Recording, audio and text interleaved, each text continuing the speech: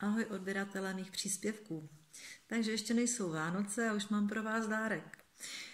Takže vás srdečně zvu na individuální seminář, kde si můžeme popovídat o zdravé pokožce, o tom, co můžeme pro naši pokožku udělat, když je nemocná, lupenka, atopický exém, pokožka malých dětí, citlivá pokožka a k tomu patří také výživa.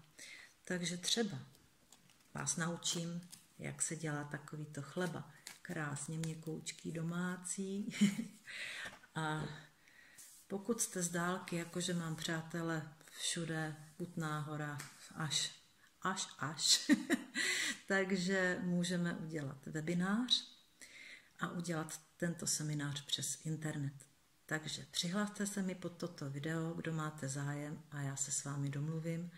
Nebude vás to stát vůbec nic, a ještě si můžete odnést masáž malého miminka, která je instruktážní, natočená a budete ji mít jako dárek na pořád. Mějte se hezky, ahoj! thank you